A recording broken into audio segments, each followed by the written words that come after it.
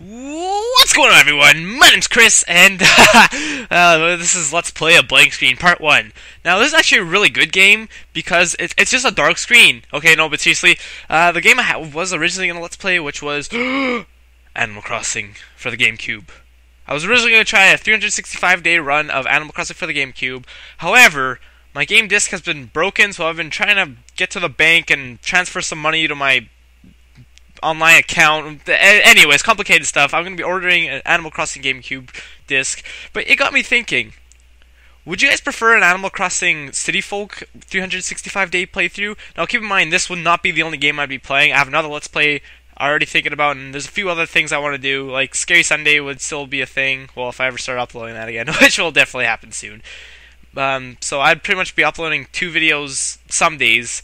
But yes, would you guys prefer a City Folk 365 day attempt or GameCube 365 day attempt? I say attempt because I don't know if I'll actually be able to do this or not. I just want to try it and see what happens.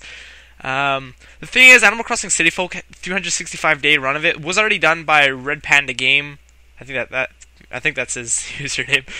Uh, so I kind of don't want to do that only for the fact that uh, I don't really want to be like you know just I don't want to do something that's already been done like that, even though that's not completely a thing because look how many Super Mario Galaxy Let's Plays there are. That didn't stop me from Let's Playing, did it?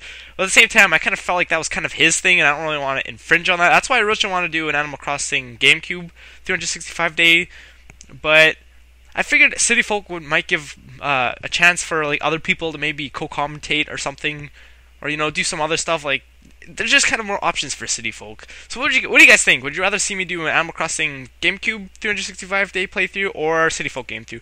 Please leave a comment down below, and that'll pretty much help me decide whether or not what I'm gonna do. Because I'm gonna end up getting GameCube version anyways, but I just need some help deciding what I want to do. So yeah, leave a comment down below.